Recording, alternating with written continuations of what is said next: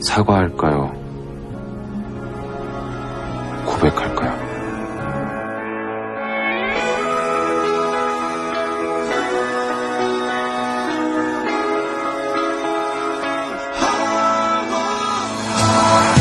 아무 말 없이 내게서 커져만 가는 게 아무래도 이대로는 안 되겠어 어쩌다 내가 이렇게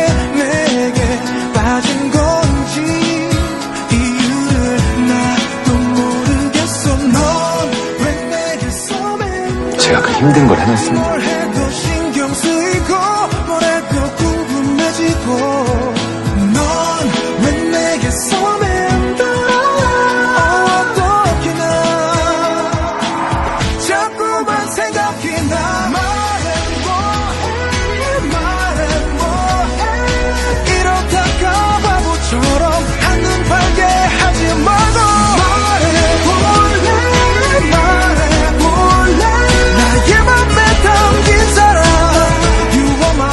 여자들은 오로지 감성으로 뭉쳐져 있어요.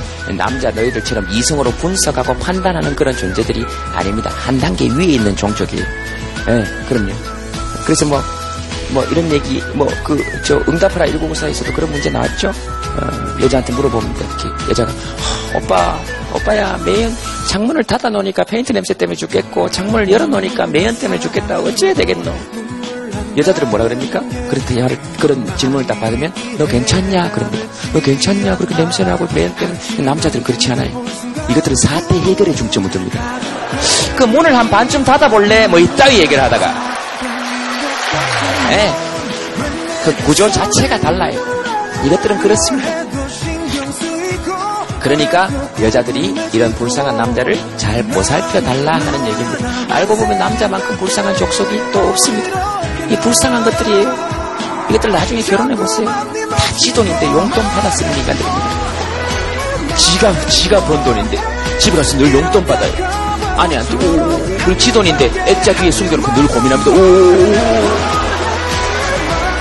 어, 불쌍한 인간들이